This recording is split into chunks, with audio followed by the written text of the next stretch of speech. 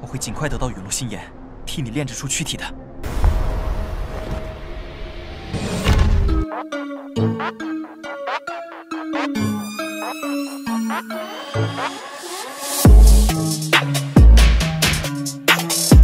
Halo guys, selamat datang kembali dalam pembahasan Battle Through the Heavens versi novel Gimana nih kabar kalian?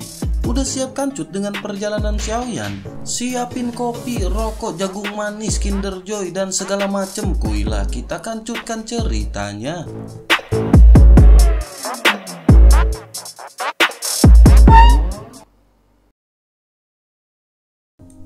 Cerita masih berkancut di mana Xiaoyan pada saat ini berhadapan dengan dua pria berjubah putih yang tersisa. Keduanya pun segera melesat ke arah Xiaoyan dengan api yang berada di tubuh mereka. Pada saat ini Xiaoyan segera menyadari bahwa api yang berada di tubuh kedua orang ini bukanlah api surgawi. Xiaoyan bergumam ternyata itu adalah api binatang tingkat tinggi. Xiaoyan pun menghela nafas dan menepuk dadanya yang ketakutan. Setelah itu Xiaoyan pun segera melangkah maju dan berteriak jika begitu permasalahannya maka Xiaoyan akan membiarkan mereka semua melihat api surgawi yang asli. Xiaoyan segera mengguncang pedang besar miliknya yang bergabung dengan api surgawi. Xiaoyan segera memisahkan api surgawi menjadi tiga dan api yang berwarna-warni segera melayang keluar. Bersamaan dengan itu, api biru pada tubuh dua pria berjubah putih pun seketika menyusut Seolah-olah pada saat ini api biru telah memiliki ketakutan alami terhadap api surgawi yang sebenarnya.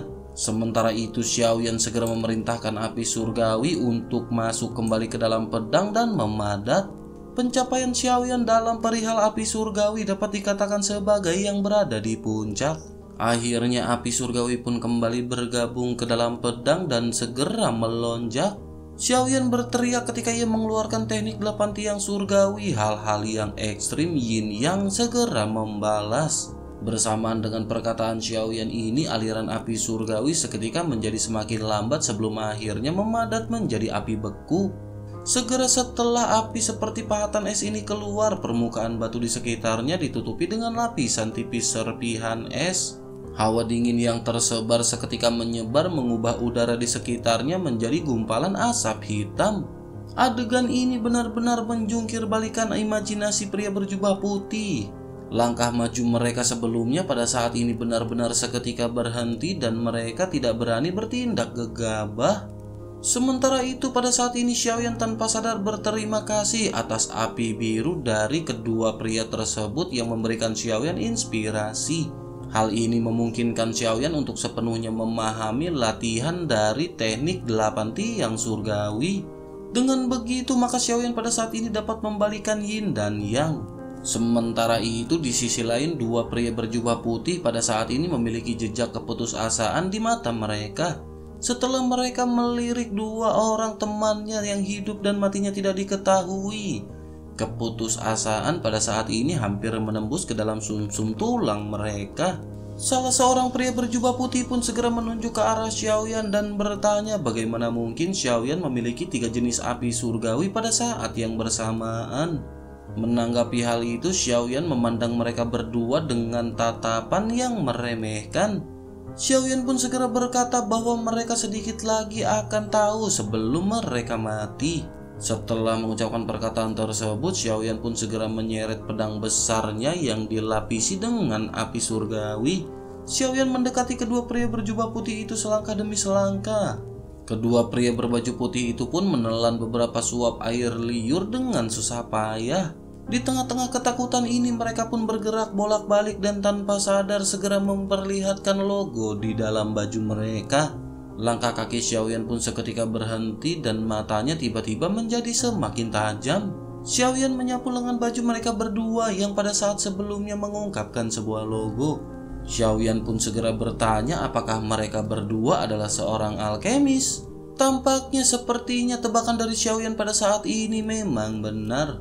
Xiaoyan tidak menyangka bahwa ada kekuatan alkemis yang akan berperang menyerang Xiaoyan. Terlebih lagi orang-orang yang merupakan alkemis ini adalah Dodi bintang 5 yang menyerang Dodi bintang 4. Ini adalah suatu kehormatan bagi Xiaoyan namun Xiaoyan tidak mengetahui kekuatan mana yang bisa mengerahkan orang seperti itu. Kata-kata Xiaoyan ini seperti petir yang menyambar di siang hari bolong. Kedua pria itu pun seketika gelagapan mendengar perkataan dari Xiaoyan. Wajah mereka pada saat ini benar-benar pucat dan salah seorang dari mereka segera berkata bahwa Xiaoyan berbicara omong kosong. Lelucon macam apa yang Xiaoyan sebutkan dengan berkata bahwa mereka adalah seorang alkemis? Faksi mana yang bersedia mengirim seorang alkemis untuk mengepung dan memusnahkan Xiaoyan?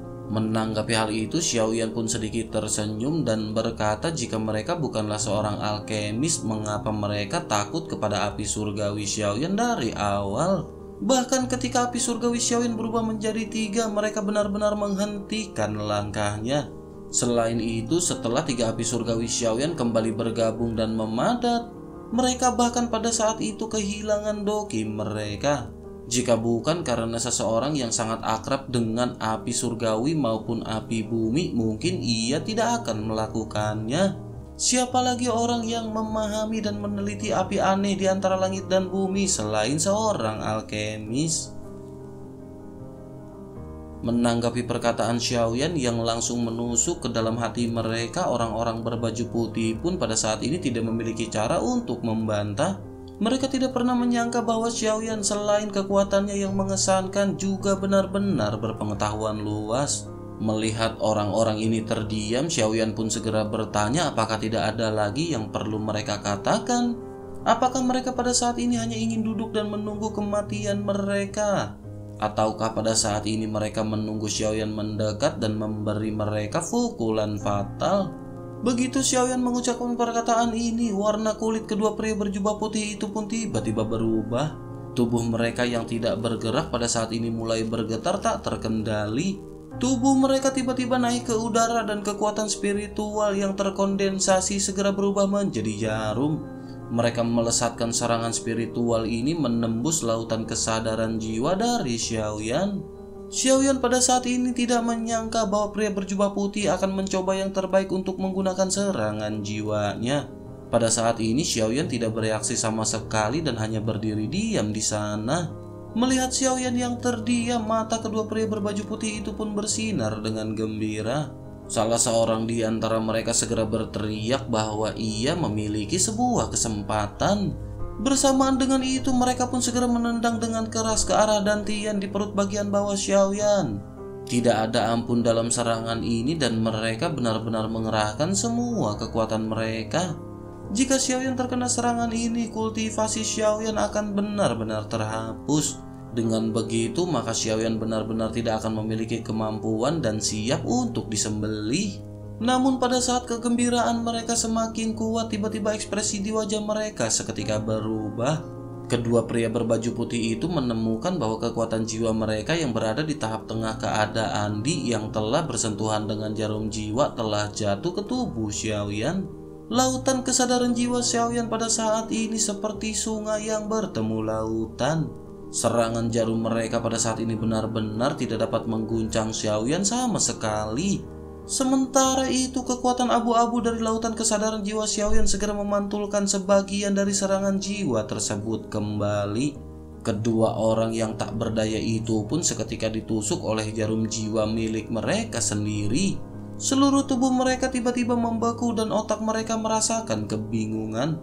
Pada saat ini jari-jari mereka pun terasa lemas dan mereka tidak bisa lagi maju bahkan untuk satu sentimeter pun. Sudut mulut Xiaoyan pun terangkat menjadi sebuah senyum meledek ketika Xiaoyan bertanya bagaimana rasanya diserang oleh serangan jiwa sendiri. Bersamaan dengan itu kaki Xiaoyan pun seketika menendang mereka berdua di udara seperti bola meriam. Mereka pun dengan keras terpental dan menghantam sebelum akhirnya berguling dan berhenti di antara dua pria sebelumnya. Mereka pun pada saat ini berjuang untuk menstabilkan tubuhnya dan segera menatap ke arah Xiaoyan. Mereka benar-benar tidak percaya dengan apa yang baru saja mereka alami. Mereka pun bertanya-tanya apakah Xiaoyan ini benar-benar seorang Dodi bintang 4 tahap akhir. Bisakah Dodi tahap akhir bintang 4 dengan mudah mengalahkan 4 orang Dodi tahap awal bintang 5? Selain itu, Xiaoyan juga memiliki teknik yang menantang surga dengan membuat tiga jenis api surgawi yang bisa bersatu. Xiaoyan juga pada saat ini bisa menangkal serangan spiritual tahap tengah ke ada Andi. Semua ini benar-benar tidak bisa dipercaya di mata semua orang. Salah seorang pria pun segera bertanya bagaimana mungkin Xiaoyan bisa menangkal serangan spiritual. Menanggapi hal itu, Xiaoyan pada saat ini benar-benar yakin bahwa mereka adalah alkemis. Karena mereka adalah seorang alkemis, maka dalam kasus pertahanan terakhir, Serangan spiritual tidak diragukan lagi adalah yang paling sulit untuk dilawan. Namun sayang sekali mereka semua pada saat ini mengabaikan bahwa Xiaoyan juga adalah seorang alkemis. Menanggapi hal itu, pria berjubah putih yang merupakan pemimpin pun segera membuka mulutnya. Ia berkata bahwa mereka tahu Xiaoyan adalah seorang alkemis yang telah berpartisipasi di Aula Pil namun mereka mengira bahwa kekuatan spiritual Xiaoyan tidak akan setangguh kekuatan Dokinya. Menanggapi hal itu Xiaoyan pun kembali tersenyum sebelum akhirnya berkata kepada mereka. Xiaoyan berkata bahwa alasan yang diungkapkan oleh mereka sama sekali tidak salah. Hanya saja selalu ada pengecualian untuk semuanya. Xiaoyan tidak takut untuk memberitahu mereka bahwa serangan spiritual Xiaoyan pada saat ini tidak kalah dengan serangan dokinya. Menanggapi hal itu, pemimpin pria berjubah putih pada saat ini benar-benar sedikit terkejut. Ia pun segera berkata bahwa ia sangat ingin tahu tingkat berapakah Xiaoyan di bidang alkemis. Xiaoyan segera menjawab bahwa tak akan lama lagi Xiaoyan akan dipromosikan ke tingkat 6. Keempat pria berbaju putih pada saat ini seketika benar-benar terkejut. Mereka terengah-engah dengan tatapan yang dipenuhi dengan ketercengangan yang luar binasa. Mereka bertanya-tanya bagaimana mungkin dalam beberapa tahun sejak kompetisi dari Pilpele Xiaoyan bisa sampai ke tingkat itu. Mereka menyadari bahwa tidak banyak alkemis yang berada di peringkat ke-6 bahkan di aula alkemis. Mata pria yang merupakan pemimpin dari kelompok pria berjubah putih pada saat ini segera menatap ke arah Xiaoyan. Ia pun menganggukkan kelapanya dan berkata bahwa memang benar ada pengecualian bagi Xiaoyan. Mereka tidak ragu mengenai hal itu karena mereka pada saat ini benar-benar dikalahkan. Menanggapi hal itu, Xiaoyan segera berkata jika begitu permasalahannya haruskah mereka memberitahu orang yang berada di balik layar. Pemimpin pria berjubah putih pada saat ini tersenyum tipis. Ia segera berkata meskipun mereka mengagumi bakat dan kemampuan Xiaoyan, namun keluarga dan klan memiliki aturannya sendiri. Oleh karena itu maafkan ia karena ia tidak bisa menjawab pertanyaan dari Xiaoyan. Menanggapi hal itu, Xiaoyan pun segera berkata, bahkan jika mereka tidak mengungkapkan identitas mereka, Xiaoyan pada saat ini bisa menebaknya. Pria yang merupakan pemimpin pun segera menyipitkan matanya dan berkata bahwa semuanya terserah Xiaoyan. Setelah itu keempat pria berpakaian putih ini saling memandang dan berdiri dan empat api binatang biru tingkat tinggi segera melonjak. Mereka berteriak ke arah langit sebelum akhirnya mereka memukul ke arah dada Xiaoyan secara bersamaan. Bersamaan dengan itu pisau salju seketika muncul kembali dan terbang menuju ke arah Xiaoyan. Pikiran Xiaoyan pada saat ini berubah menjadi tajam dan matanya seketika menyipit. Xiaoyan menatap cahaya pedang yang dengan cepat membesar di depan matanya. Xiaoyan bergerak dengan hatinya dan segera bergegas menuju ke depan.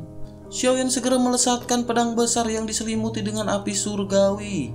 Banyak benturan segera terjadi di mana pisau ringan dan pedang berat milik Xiaoyan terus-menerus bertabrakan. Pada saat ini keempat orang pria tersebut benar-benar mengeluarkan kemampuan mereka masing-masing. Mereka melesatkan serangan gabungan sekaligus menyerang Xiaoyan dari sisi lain.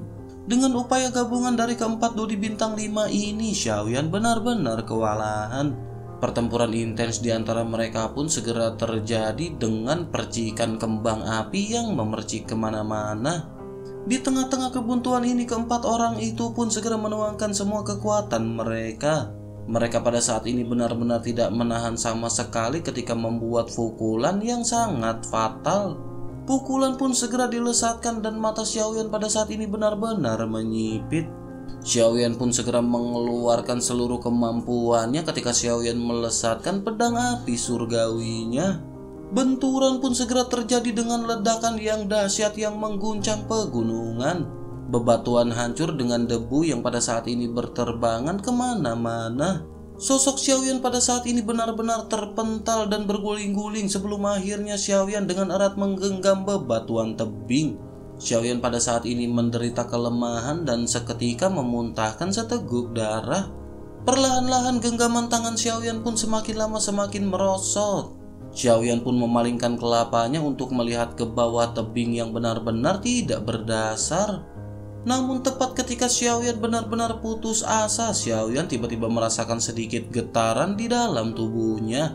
Api surgawi di dantian Xiaoyan yang mengering sebelumnya pada saat ini kembali dipulihkan dan membangkitkan kekuatan baru. Xiaoyan seketika menyadari sesuatu dan benar-benar sangat gembira. Xiaoyan pun bertanya-tanya apakah Yiwa pada saat ini telah terbangun. Tanpa diduga pada saat hidup dan mati ini Yiwa akan bangun dan memberi Xiaoyan uluran tangan. Xiaoyan telah menelan tiga api surgawi yang besar sebelumnya dan Xiaoyan bahkan akan lebih kuat ketika Yiwa terbangun. Jika Yiwa bergabung dengan Xiaoyan maka kekuatan Xiaoyan benar-benar akan meningkat. Namun Yiwa telah tertidur lelap untuk waktu yang lama dan tidak ada tanda-tanda untuk bangun. Xiaoyan pun berpikir mungkinkah ketika Xiaoyan berhadapan dengan permasalahan yang sangat serius maka Yiwa akan bangun. Xiaoyan yang sangat gembira pun segera melihat ke dalam dantiannya dan pada saat ini melihat sosok Yiwa yang masih tertidur seperti bola. Xiaoyan pun berpikir sepertinya karena Yiwa merasakan bahaya bagi Xiaoyan oleh karena itu secara naluriah ia segera memancarkan kekuatan untuk melindungi Xiaoyan. Xiaoyan pun menekan kegembiraan di dalam hatinya dan menggelengkan kelapanya. Xiaoyan segera menarik sedikit kekuatan dan berjuang untuk segera memanjat. Begitu sampai Xiaoyan pun ngerebah dan menghela nafas lega. Pandangan Xiaoyan pada saat ini melirik ke segala arah di mana debu bertebangan ke mana-mana. Namun pada saat ini Xiaoyan tidak melihat empat orang Dodi bintang lima di sekitarnya. Xiaoyan berpikir tampaknya mereka semua benar-benar telah mati pada saat ini. Xiaoyan pun bergumam jika Xiaoyan tidak memiliki fisik yang sebanding atau bahkan melampaui klan monster, maka Xiaoyan khawatir dalam pertempuran kali ini Xiaoyan akan berakhir. Melihat kekacauan yang berada di seluruh gunung ini, Xiaoyan pun menghela nafas. Xiaoyan pun segera memasukkan sebotol cairan roh bening setelah itu Xiaoyan pun segera bangkit dan membersihkan semua relik yang berada di sekitarnya. Xiaoyan melihat sekeliling dan mencari empat mayat pria berjubah putih. Namun setelah menemukan mayat mereka, Xiaoyan pada saat ini tidak berhasil menemukan identitas di balik mereka. Xiaoyan pun mengutuk beberapa kata dengan marah. Setelah itu Xiaoyan menoleh untuk melihat kabut yang perlahan diselimuti malam di kaki gunung. Kilatan cahaya segera melintas di mata Xiaoyan bersamaan dengan kekhawatiran yang melonjak di hatinya. Xiaoyan bergumam bahwa keberadaannya ini telah terungkap dan tidak cocok untuk tinggal di sini. Tetapi Xiaoyan pada saat ini benar-benar tidak tahu Xiaoyan harus pergi ke mana. Xiaoyan pun menekan kebingungannya sebelum akhirnya segera berjalan menuju ke dalaman hutan. Tak lama setelah Xiaoyan pergi, terdengar beberapa suara angin kencang dari tebing di puncak gunung. Beberapa sosok mendekat dari kejauhan, tetapi dalam beberapa tarikan nafas mereka segera mencapai puncak gunung. Meskipun Xiaoyan tidak dapat melihat penampilan sosok itu dengan jelas, namun Xiaoyan samar-samar dapat melihat bahwa mereka mengenakan jubah putih yang sama. Selain itu, fluktuasi doki yang meresap dapat merasakan kemarahan yang terkandung di dalam tubuh mereka. Kecepatan orang-orang ini benar-benar sangat cepat dan kultivasi mereka sepertinya sangat mengesankan. Xiaoyan pun memperhatikan kelompok orang ini yang mengenakan jubah putih. Tekstur dari pakaian mereka ini memiliki bahan yang bermutu tinggi. Selain itu dari penampilannya orang-orang ini adalah seorang alkemis. Pada saat ini Xiaoyan memiliki spekulasi terhadap dua kekuatan besar yang berada di balik layar atas semua ini Xiaoyan menyadari bahwa sosok di balik penyerangan ini adalah Pilhol ataupun klan Yao. Namun pada saat ini Xiaoyan tidak pernah berhubungan dengan klan Yao. Oleh karena itu, kemungkinan besar yang merupakan dalang di balik semua ini adalah Bill Hall. Selain itu, mereka memiliki persaingan di dalam penjualan pil dengan aliansi bisnis. Xiaoyan pun menghela nafas dan buru-buru menekan pemikirannya mengenai hal ini. Yang terbaik bagi Xiaoyan pada saat ini adalah ia segera melarikan diri. Xiaoyan harus bergegas menuju ke arah klan Yao namun Xiaoyan tidak bisa melalui jalur yang sama.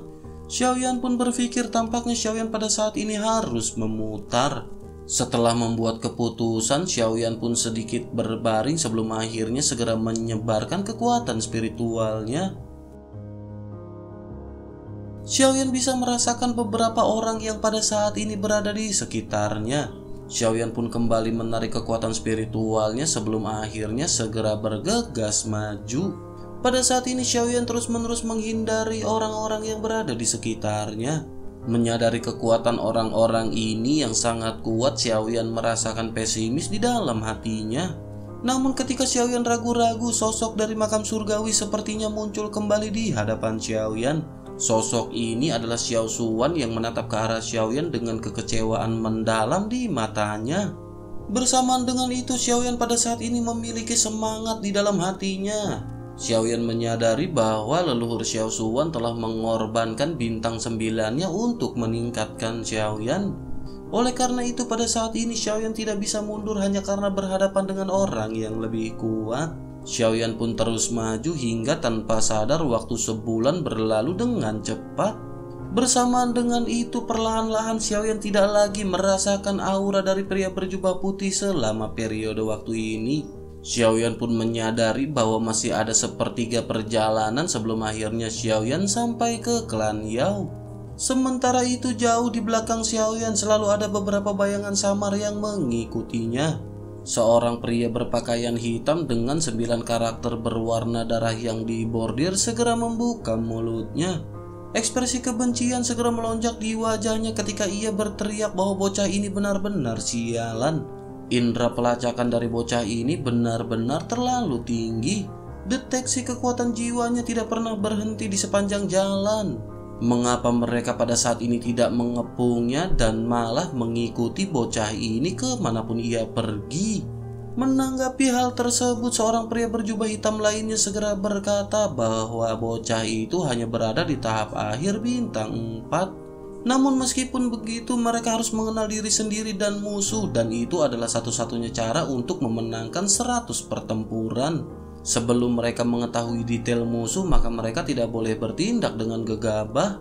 Mereka harus benar-benar menjaga agar misi mereka tidak berakhir dengan kegagalan.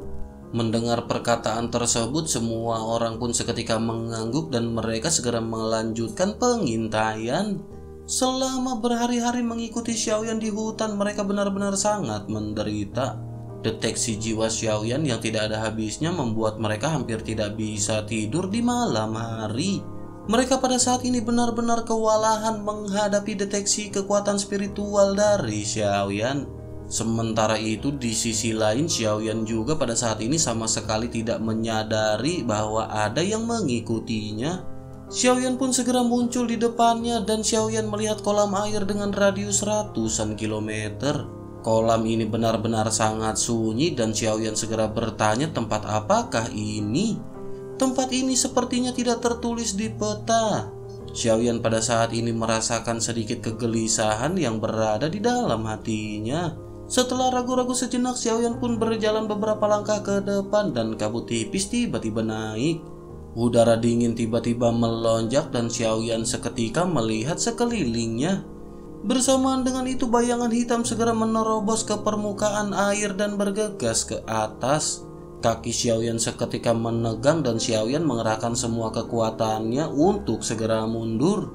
Bersamaan dengan itu api surgawi Xiaoyan segera melonjak melelehkan kabut yang berada di sekitar Xiaoyan. Bayangan hitam yang naik ke langit pun tampak sedikit takut pada api surgawi dan pedang berat milik Xiaoyan sebelum akhirnya melayang di permukaan air. Sosok ini menatap ke arah Xiaoyan dengan perasaan ragu-ragu. Sementara itu Xiaoyan sedikit tersenyum merasakan kekhawatiran makhluk tersebut terhadap api surgawi.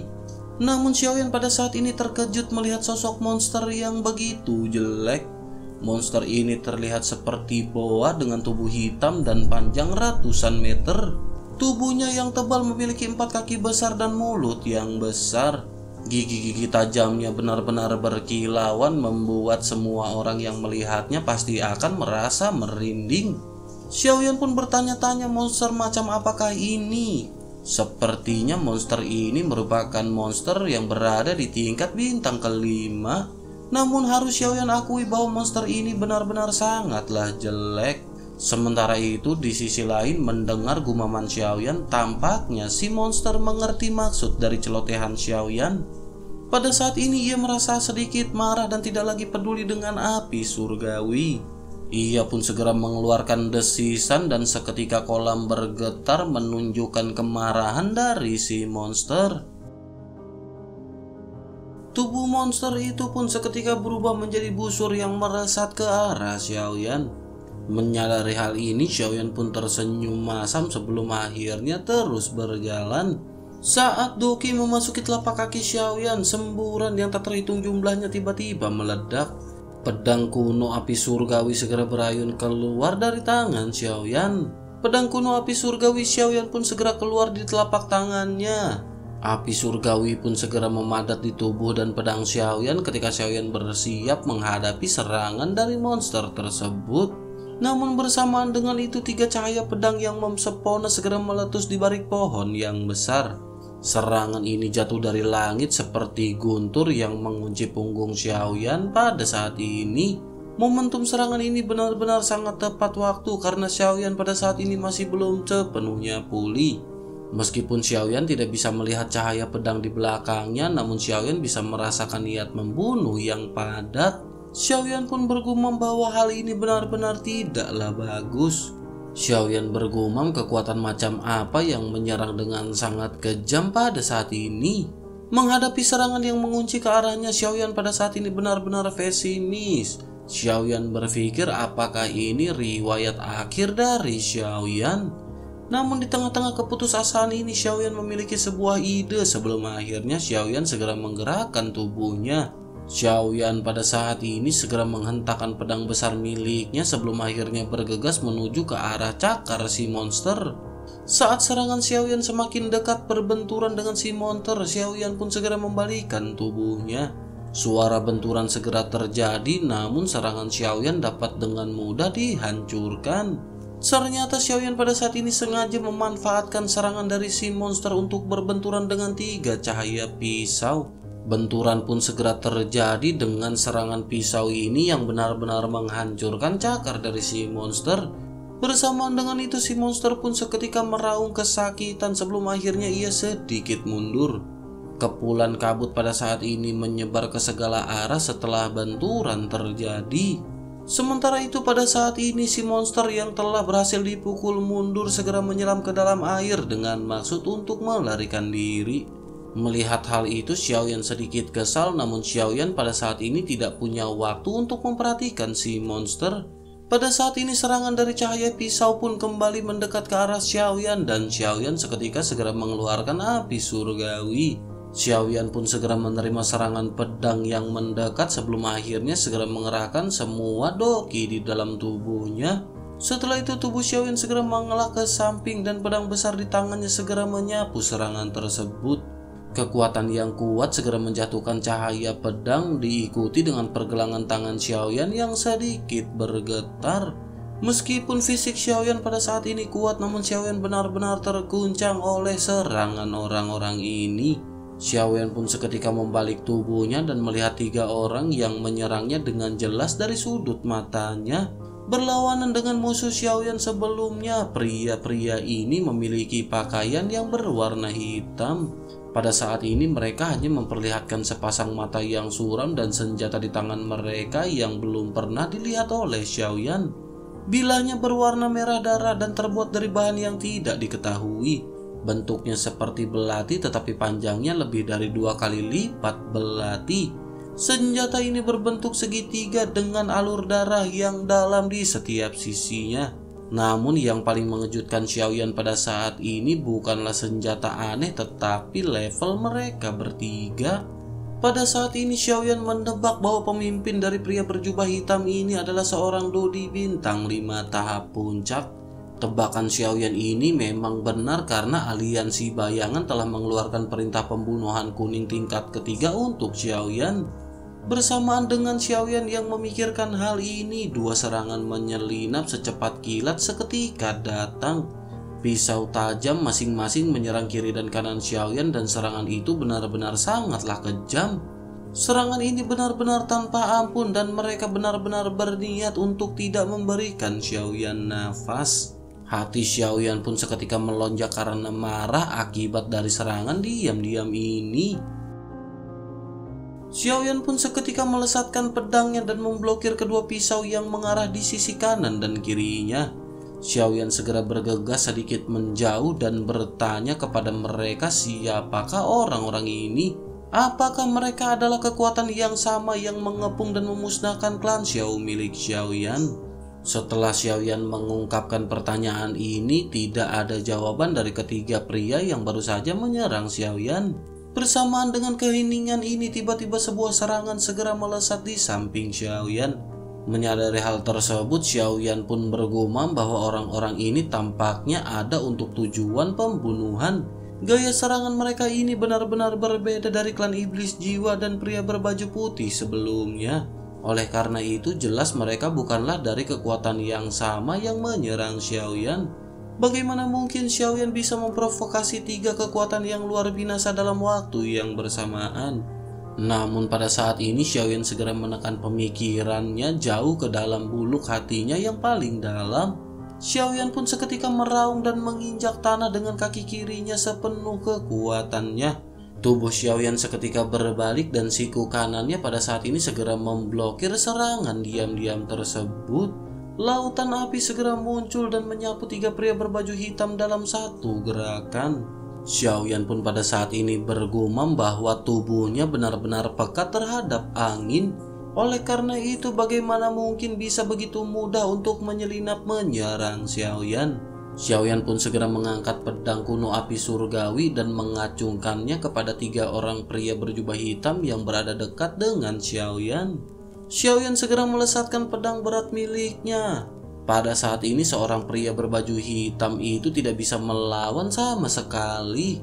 Ia pun berhasil dihantam oleh pedang besar milik Xiaoyan dan ia segera menyemburkan darah ke atas langit. Pria berbaju hitam yang ceroboh ini benar-benar sudah mati dengan satu kali serangan oleh Xiaoyan. Pada saat ini Xiaoyan sedikit lega karena ia berhasil membunuh salah seorang pria berjubah hitam. Namun Xiaoyan menekan kegembiraannya karena orang yang baru saja ia bunuh merupakan seorang Dodi tahap awal bintang kelima. Wajar saja bagi Xiaoyan dapat membunuh pria dengan tingkatan seperti ini. Namun jika melihat kekuatan pemimpin mereka yang berada di puncak tahap 5 bintang Dodi, Xiaoyan benar-benar tidak yakin apakah Xiaoyan bisa mengalahkannya.